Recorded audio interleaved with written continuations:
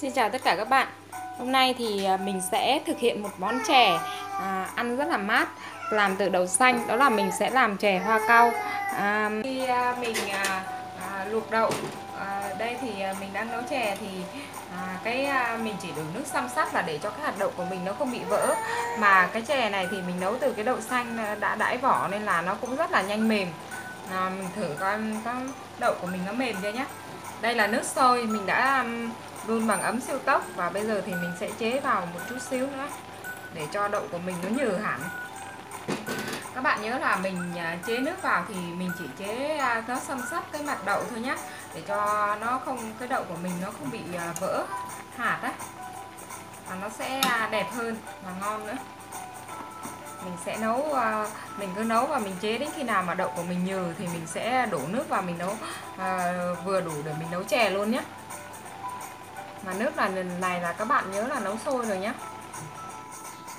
trong thời gian mình à, nấu chè mà có cái bọt này thì các bạn nhớ là mình à, để mình hớt đi nha cho cái chè của mình nó ngon cũng được nhé 200g đậu xanh. nó ít thì không cần hớt lòng mà đãi vỏ mình đã mua sẵn.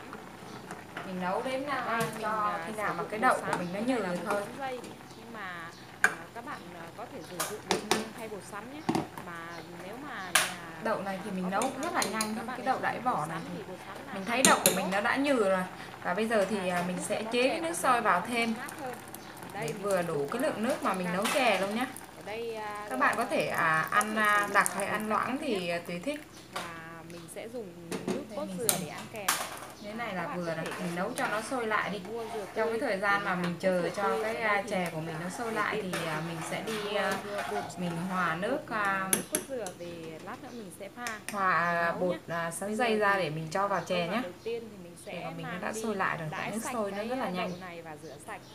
Chè của mình sôi rồi mình thì mình sẽ cho phần đường vào để cho đường của mình nó tan trước. sau khi đậu mà mình đã à, rửa sạch và mình đổ nước để mình đun mình nấu cho đường của mình tan thì mình sẽ cho một số dây vào. khoảng một đốt ngón tay để cho mình đun để cho đậu của mình nó không nếu mà mình đổ quá nhiều nước khi chè của mình à, đã sôi lại và để mình để cho đậu nó còn kiểm tra xem đường của mình nó đã tan chưa đường của mình nó đã tan rồi thì mình sẽ cho bột nước bột sắn dây vào luôn nhé và mình nấu mình nấu đến khi mà nước này nếu mà nước này cạn mà đậu vẫn chưa chín thì à, khi đó thì mình sẽ châm thêm nước. Và các bạn nhớ là à, mình có châm thêm nước thì cái nước bột sắn dây vào thì à, nó sẽ làm cho chè của mình nó sánh lại. Cho đậu của mình nó dẻo mình có thể cho bột năng. Đậu của mình nó sẽ chín mềm và ăn rất là ngon. dây đây cũng là một nếu là mình khuấy cái à, đáy nồi cho nó đỡ khét hạt đậu của mình không bị vỡ mà chè đậu mình muốn ăn đặc một chút thì mình cho nhiều bột sắn dây còn ăn loãng thì mình cũng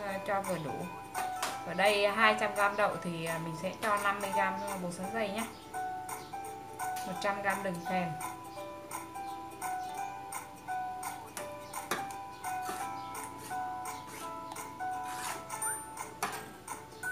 Đó, ra chè của mình rất là ngon mình nấu cho chè của mình nó sôi lại đi là là, là được đó các bạn. Nhà mình thích là rất là thích ăn cái món chè này tại vì à, đậu xanh bình thường nó đã rất là mát rồi nhưng mà ăn vào với bột sắn dây thì à, rất là ngon. Đây này cái bột sắn dây mà mình hòa nó chưa kỹ nó nó đang cục lại nhưng mà cái, cái miếng này ăn lại rất là ngon đó các bạn tại nó dại dẻo dẻo á y như là cái chân trâu vậy á. Rồi mình để cho mình khuấy cho cái à, chè của mình nó không bị khét ở dưới đáy nồi á. Có cái bột này nếu mà mình không khuấy thì chè của mình nó rất ngày, ngày trước mình à, nghe cái tên chè hoa cau mình không biết mình lại cứ nghĩ là người ta lấy hoa cau người ta làm. Nhưng giờ mình ăn thì mình đây là chè đậu xanh không phải là hoa cau. Tại vì à, chắc là lúc mà nấu lên nó như thế này nó nở ra y như cái hoa cau nên là người ta gọi là chè hoa cau.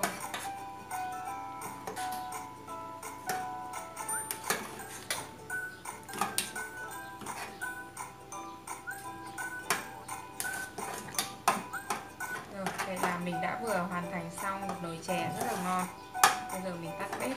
Chè này mình có thể ăn à, nóng hoặc là ăn nguội. Mình cũng đã à, nấu sẵn nước cốt dừa rồi. Bây giờ mình sẽ múc ra để cho các bạn là xem và mình sẽ ăn thử nhé.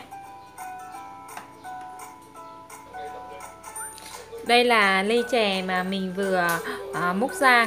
À, Mình đã có à, dưới sẵn cái nước cốt dừa lên trên. Cái nước cốt dừa mà mình mua là mình mua bột nước cốt dừa các bạn. Thì mình về mình uh, nấu rất là đơn giản thôi. Ở đằng sau cái gói nó có cái hướng dẫn sử dụng á.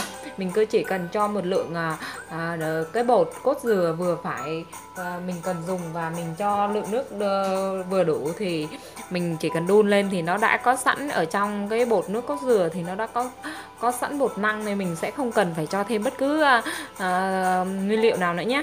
Là mình đã có được uh, nước cốt dừa này rồi bây giờ thì à, mình sẽ ăn thử. Chè này thì mình có thể à, ăn nóng hoặc là à, ăn lạnh.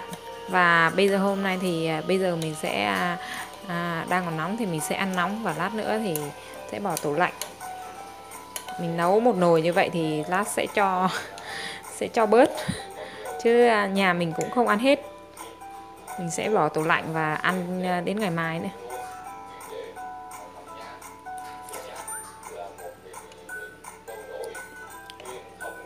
Đối với món chè này thì um, mình bỏ cái lượng đường vừa phải như vậy thì ăn rất là ngon. Và uh, hơn nữa là mình sử dụng cái bột sắn dây ấy nên là có món chè của mình ờ, rất là ngọt thanh mà ăn vừa phải.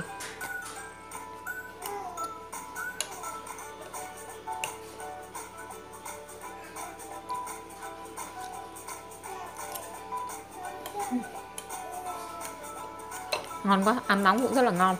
À, video thực hiện món chè hoa cau của mình đến đây là kết thúc. Xin chào và hẹn gặp lại các bạn ở các video tiếp theo. Nếu yêu thích video của mình thì nhớ like và đăng ký kênh để nhận được những video mới nhất. À, Các bạn có thể à, làm món chè rất là ngon và lại đơn giản này tốt cho sức khỏe để à, cho cả nhà cùng thưởng thức vào mỗi dịp cuối tuần nhé. Xin chào và hẹn gặp lại các bạn ở các video tiếp theo.